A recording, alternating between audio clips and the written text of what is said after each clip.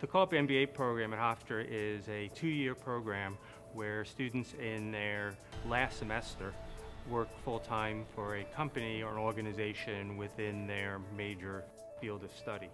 So it combines both the traditional classroom education with some practical real-world paid experience. When you have work experience, I find that far more valuable than just taking another course.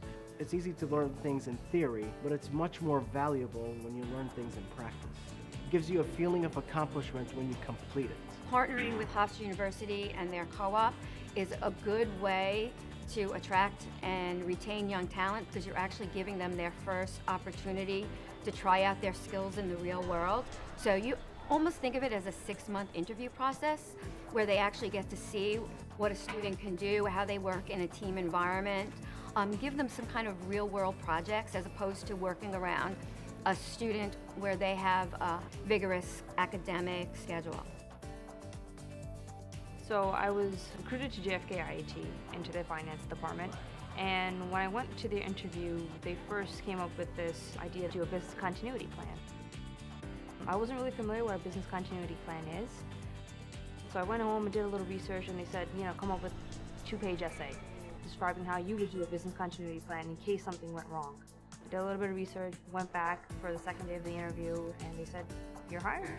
And so for the most of my six-month co-op that I had there, I worked on building their business continuity plan.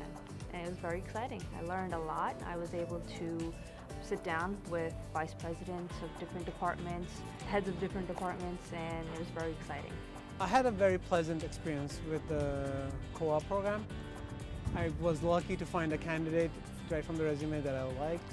And uh, having uh, Tanya come in as a co-op instead of as an intern, we were able to integrate into a team. So she essentially became a team member as if she were another employee instead of a temporary intern.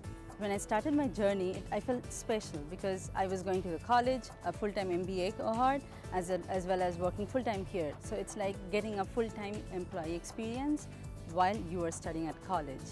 When I completed the co-op, they offered me a full-time position here at Northwell. The co-op is six to eight months, which is longer than an internship. So you're able to get in-depth knowledge as well as be a part of the company where you being uh, also an important person to take the decisions to help make them decisions.